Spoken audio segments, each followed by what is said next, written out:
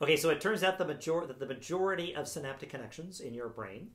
uh, are between independent, you know, kind of nerve cells um, that wire up into networks of linked neurons. Um, and at each of these individual synaptic connections, actually, there's a gap. Um, and the majority, again, are uh, what we call chemical uh, synapses. So there's going to be actually the you know release of a neurotransmitter, let's say from the end of one neuron upon the arrival of an action potential, um, and then there's going to be the um, uh, the receipt of that message, that chemical message, you know, by receptor proteins that we're going to see are embedded in the postsynaptic membrane here that can interpret, can either you know result in inhibition uh, of this next neuron in terms of um, you know its uh, propensity to fire an action potential, or uh, you know uh, excitation of the neuron. Um, or we're going to see, you know, via receptor activation, specific receptor activation, you can get actual physical changes in the very structure uh, of the cell and the synaptic connection that it makes with others. So um, there's a lot of potential responses. The chemical synapse is actually uh, extraordinarily useful because those chemicals can be interpreted by so many different types of receptor proteins and you know result in so many different kinds of changes. Um, we'll talk a lot about that this um, week. Um, so, the, the, in contrast to a chemical synapse, actually, um, there is um, you know something known as the electrical synapse, where you know there's just like let's say um, you know a much a much shorter gap between the you know presynaptic membrane, the axon terminal of the first neuron,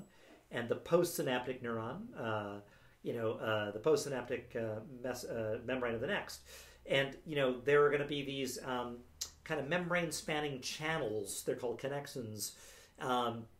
that sort of go in, you know, across the membrane of the presynaptic and across the membrane of the postsynaptic. They they meet up and they form like a continuous channel between the two neurons um, at the synapse, um, and they allow for, let's say, sodium ions to go through. So you get, you know, the sodium, you know, potassium, you know, in and out. You know, propagation of the action potential can arrive at the axon terminal, and in these electrical synapses, it could just race into the next cell and depolarize, and you get initiation, you know, potentially of another action potential in the new cell. Um, these electrical synapses, you know, it was interesting. I learned that they were quite rare, uh, but at the University of Oregon, they're doing a lot of um, research on, uh, you know, electrical synapses, and it turns out that about twenty percent of synapses in adult vertebrates, um, including zebrafish and people, are actually uh, electrical, and there were more uh, actual connections, you know, synaptic connections in our um, in our brains when we were much younger, like during fetal development, for example, where they were electrical in nature uh, and had these connexons. In um, in uh, in invertebrates, they call them innexons or in sorry innexons actually that connect up the, the, the, the electrical synapses with like a channel. Um, and you know what's interesting is that when you remove the proteins from electrical synapses, you know again the connexins um, in vertebrates and also innexins in invertebrates, you get fewer um, chemical synapses subsequently forming which sort of suggests that like um, electrical synapses sort of build an initial and critical blueprint